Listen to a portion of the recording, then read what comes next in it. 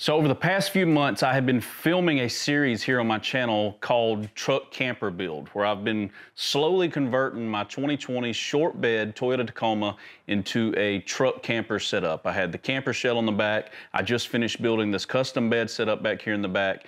And things are fixing to change. And, and if you guys remember, throughout this build series, I have stressed on not doing things permanent when you build things to your vehicles like this. And I'm a big believer in trying your best not to drill any permanent holes or fixtures or anything like that on it if you might change it later.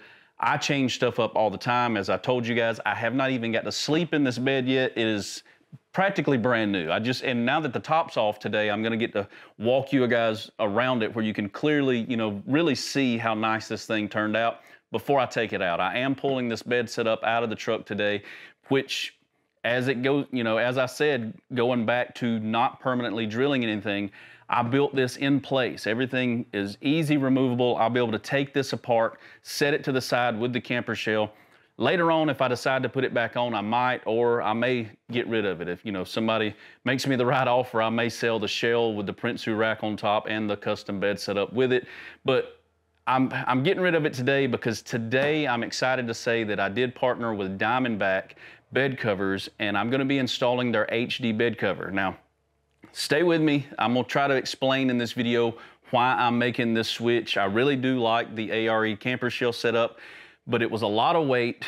I was constantly driving with all this weight on the back of my truck. I drive about 30 minutes every day to work and then 30 minutes back from work. My gas mileage was horrible because I was kind of hauling around a lot of extra weight back here, especially if I had my rooftop tent on top of the camper shell. And that is the reason I'm making the switch. So we're switching over today. We're gonna remove this setup. I'm keeping my whole setup in the back seat area for now. Uh, if you followed along, you know that I did remove my back seat and I've got the fridge set up in there. I've got the solar panel set up in there. So we're still gonna have that power in there for camping. Uh, but we are making a change for the back. And one of the main reasons is, is I wanna be able to lock my stuff up in the bed of my truck under the Diamondback cover, but I can also use the top of my bed cover to haul stuff like wood or kayaks or or anything that I need. I mean, it's the HD. You can literally park a four-wheeler on top of these bed covers, and I'm really excited about that. But I'm also excited that I'm gonna be able to mount my, utilizing a Yakima HD rack system, we're gonna be able to mount the rooftop tent above the truck on the rack with a 270 awning that I'm gonna be showing you guys later that we're gonna be installing very soon here on the channel but I'm gonna be able to run all of that stuff when I want to. And when I don't want to drive around and haul the tent and the awning around with me, I'm gonna be able to quick disconnect it from the top of this Diamondback cover, take the whole setup, the rack, the tent, the awning, all off at one time and set it to the side in the garage. And I don't have to drive around with all that weight on the back of the truck. When I wanna go camping, I can pick it up, throw it all back on here and be good to go, ready to go camping. But anyway, that is gonna be this week's video. Lost my voice there for a minute. That is gonna be this week's video, guys. Uh, I'm gonna show you up close before I dismantle this and set it to the side. If you are interested in this setup, hit me up in the comments. I know as I've been building and a lot of you guys that have been following along have been hitting me up, wanting me to build you guys one or asking me how much, you know, to build one out and mail it to you or meet up and, and sell you one. But I, I really ain't in the market to do like custom builds for people. But I may get rid of this one along with the camper shell and the Prinsu rack on top. Maybe if the price is right, uh, just let me know. The, the ARE shell is about two years old. I did have it custom painted last year, or not custom. I had it professionally painted, you know, by a body shop to match the cement color of my Tacoma. But yeah, let's uh, let me show you. I'm gonna grab the camera really quick, show you the camper shell while I got it off, walk you through this, and then I'm gonna start installing this HD bed cover. Right, before I set the camera up and start pulling her all apart, let me show you. I got everything kind of pulled out except for the drawer. I still got to empty the drawer, but this is the setup, and I haven't even gotten to use it. I mean, if I don't get rid of it, odds are I will end up using it in the future but it turned out really good. It's got the bed that I made. All of this is carpeted to match. Uh, I will be leaving my bed rug in the truck. So all the carpet you see on the floor and the walls stays in the truck. I haven't done anything to modify it, so it still should be like new. And I'm keeping my Billy Bars tailgate cover on here. The only thing I'm taking out is this, you know, bed setup that I took that I built into place here. So the way I got it is this is one piece that just slides out. I've got a couple of screws that are screwed into one of the boards here. This whole box right here will just slide away from the wall. We'll be able to take it out. I've got a couple of screws in the top right here that'll, that holds this big platform down that I made. This should just slide right out with no problem. And then we got the drawer system that'll just slide out from the bottom. No holes were drilled, but look how nice the setup is. You can kind of see with this camper shell off how big the bed actually is. I'm 5'9", and with the pillow here, my feet would come to right in here somewhere. So if you're around 5'9", 5'10", something like that, or shorter, this is a perfect setup. And I also took out the, uh, this will go with it too if I do get rid of it. But if you remember this uh, little corner shelf I had in here, see if I can set it over here so you can get a picture of how it was before I start taking it all apart. This was actually in there just like that. So I had that little shelf there. I put two little cup holders in it. But that's the setup. It sleeps one person this way, pretty good. Got the storage up underneath. I didn't carpet that back wall back there, but you can't see it anyway. Got the drawer system here. I love it. I love how it looks, but like I said, it's time for a change because I'm fixing to show you this guy right here. Once we get into the installation of the Diamondback, here's the shell. I did film this morning, me and my, I, I thought I filmed me and my brother taking this off my truck and putting it on the pallet, but I never hit record on the camera, so I didn't get to share that with y'all. But me, I called my brother, he come over and we just picked it up and I got it set on this pallet on some foam. I'm probably gonna bolt some uh, two by fours across the pallet this way to hold it from the sides instead of the front and back because I don't like it sitting on the window like that. And then I'm just gonna keep it on this pallet because I got a tractor with some forks. Once I get the bed out, I'm gonna put everything on it or either inside it on top of that pallet and I'll be able to use my tractor to pick this whole pallet up and stick it in my basement out of the way, you know, unless I get rid of it. If any of you guys are interested, just let me know. But today, that's what we're gonna be putting on. So first, let me set the camera up before we even get started on the Diamondback. I need to do the old bittersweet thing and start dismantling my bed here.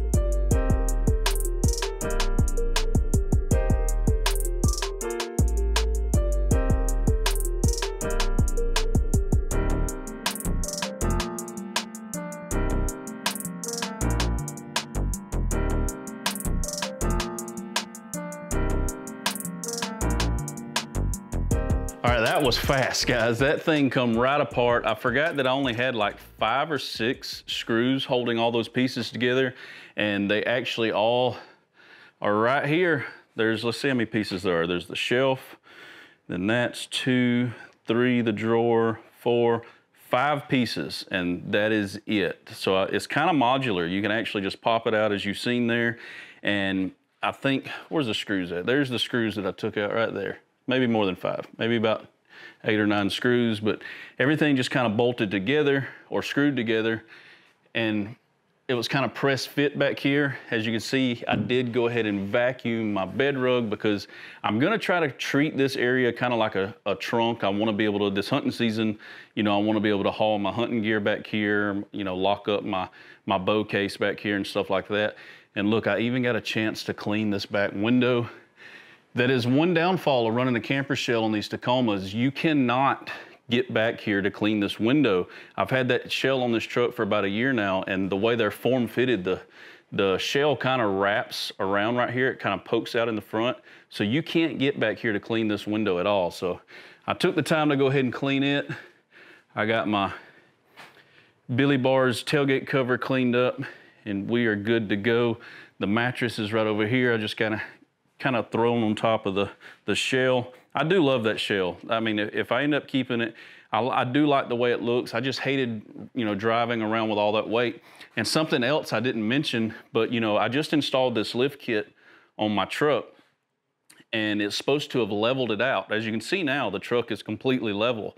But running that with all of this back there, I got worried after I installed it in that video and I went over and measured it and the back of my truck was actually about three quarters of an inch lower than the front. And I thought that I had done something wrong. I checked all my measurements, I checked my blocks, but then realized what it was was I had all this weight back here in the back actually, you know, weighing it down. So now that it's all off, you see the truck is completely leveled out now. I've measured it. It's exact, it's perfectly level now. So it was just the weight of all of this in the back that actually had it drop down a little bit. Of course, the Diamondback's gonna weigh a little bit, but it's all aluminum, so it's not gonna weigh that much to be honest.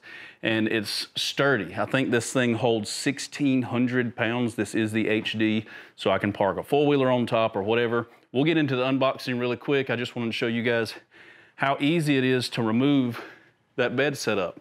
So if you do build you one like this, or if you're the person that ends up with this one, and you don't wanna run it for a while, that's how quick you can take it out. And it's, you know, it's not extremely compact, but you could slide that into your basement or the side of your garage easy and out of the way. And then you're left with the bed. So, all right, I'm gonna set the camera up. We're gonna do a quick unboxing of this Diamondback. I'm gonna show you guys everything it comes with, and then I'm gonna start installing it. I don't think it comes with everything. I know that it comes with everything, sorry, uh, to seal the bed.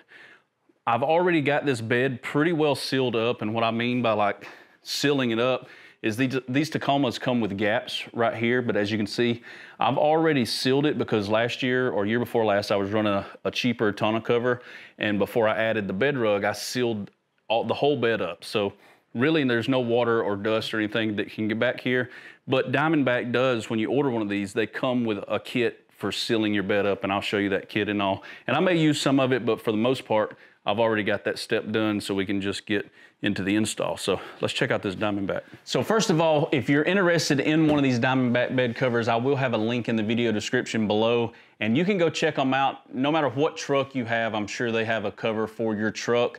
These are the number one bed covers in the world right now and they are made right here in the United States. They have the HD model, which is the one I got which is the one that you can actually haul like a four-wheeler on top of. They are rated for 1,600 pounds, but they've also got some, uh, I think the SD model, or, or I'll put it on the screen right here, the other models that they offer. And you can get different options for mine. The front will open and the back will open kind of like this.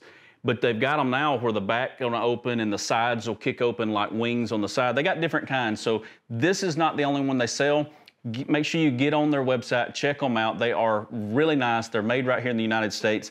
And if you remember a couple of weeks ago, if you follow along with you know the channel, I filmed the uh, NK3 kayak motor install. And one of the things I said at the beginning of that video is you can always tell a lot about a company by the way they package and ship you their product.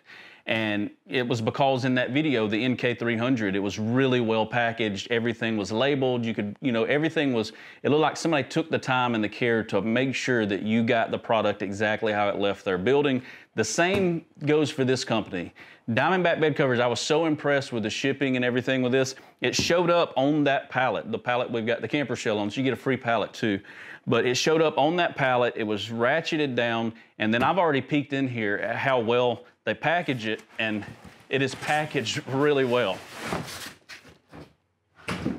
So this is how it arrives to you. Everything is wrapped up, everything is protected, even down to the handles and the locks. They've got plastic protective stuff on them. This is for another video. I'll have to get this out of the way.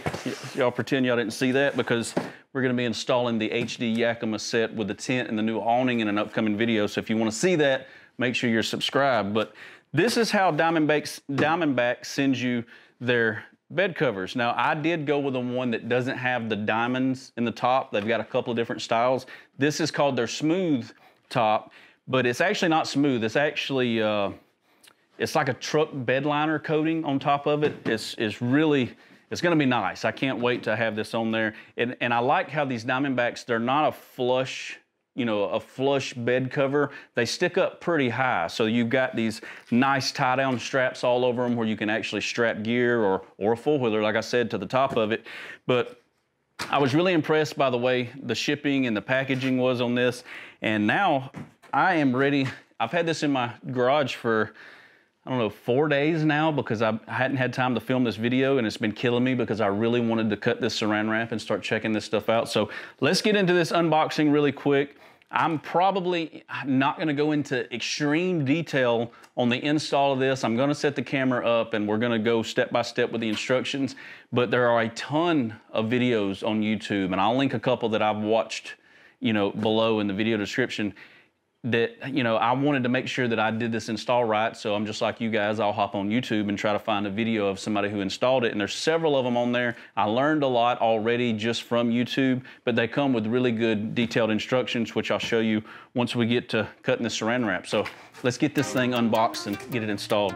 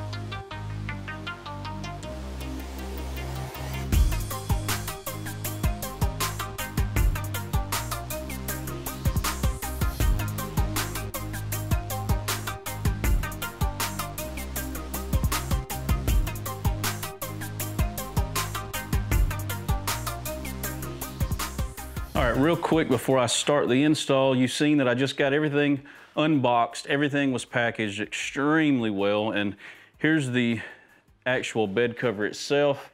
I love how it says Diamondback. It's kind of stamped from the inside out, so it kind of sticks out and you can feel it. Diamondback right across the tailgate. We've got a locking latch that will actually be right behind the driver's side. So if I want to get access to the, you know, behind the cab, I can just hop out unlatch it with the key, open it up from the back, and then there's a center one in the very back right there that you'll be able to use to access the back of the truck.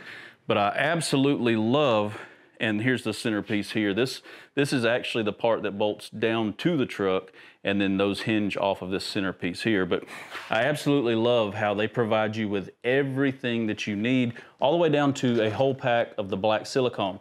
Now, as I mentioned a few minutes ago, I probably will not need to do as much sealing as most people will because I've already sealed up the bed of this truck pretty well. i am gonna double check and make sure that I don't need to do any sealing. But now we're just gonna get into the install. I've got a full detailed, look how nice these instructions are. I mean, it tells you everything. It's got pictures of everything, exactly where to do it, where to mount it. And on these Tacomas, the first thing you have to do is do the bed rail caps. So I'm gonna, you'll see me in a minute, I'm gonna have to pop these bed rail caps up and they provide these little spacer things. These, they're like rubber. And I guess there's a weak point somewhere right in here that these have to go under and they stick to the bottom of this and you put your bed rail back on or the cap back on and it actually gives it support. So when you mount that centerpiece down, this big piece right here, and we clamp it down because it's got to clamp down pretty tight. It doesn't like cave in this plastic. From what I've seen on the videos that I watched, these go under here in the center to keep this plastic from like crumpling in or messing the, the, the bed cap in, in any way. But yeah, that is it, man. That is really nice. They got these heavy duty struts that come for it so that, you know, when we open up the back or the front, it actually opens up itself. And that's all there is to it. So let's set the camera up and see if I can figure this out and get this bed cover on here. I'm excited to see how it's gonna turn out.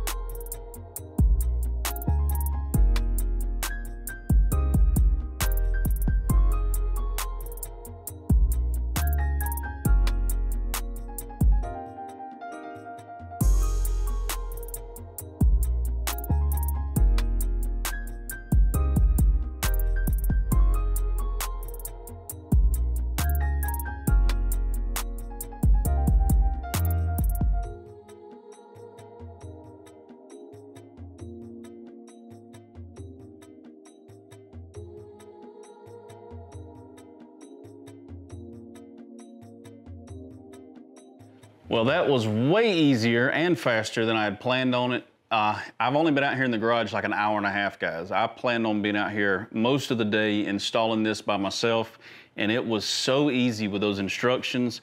But this is the one I got. This is how awesome these Diamondback bed covers are. Now, if you look right here, you can tell that I did order mine and went ahead and had them install the Yakima track system on the bed cover itself. That is an option that they provide. So if you do plan on putting a rack system on top of your bed cover, you can, I think, prepay, it's like 80 bucks, but they go ahead and install it for you. They put the tracks, you know, they drill the holes, they put them where they're supposed to be, and you don't even have to worry about it. And I wanted to go ahead and do that because the next video is gonna be us installing, I got the whole kit over there. It's the Yakima uh, Overhaul HD kit, and it's a rack system that we're gonna mount to those tracks for the rooftop tent and the 270 awning. And since you guys are still watching, I'll go ahead and show you the awning that I got. So if you follow the channel, you know that I just did a video a couple of weeks ago and I unboxed this clamshell rooftop tent that I found on Amazon. Well, I got back on Amazon and the same company had the same brand 270 awning. So it should pair really well with this tent and it's a 270. So it's gonna wrap, you know, mostly around the truck once it's installed. But the plan is now that I've got this Diamondback cover, we're gonna put that rack system on there. We're gonna put the tent up there on top of that rack system. The 270 awning is gonna mount on the same rack.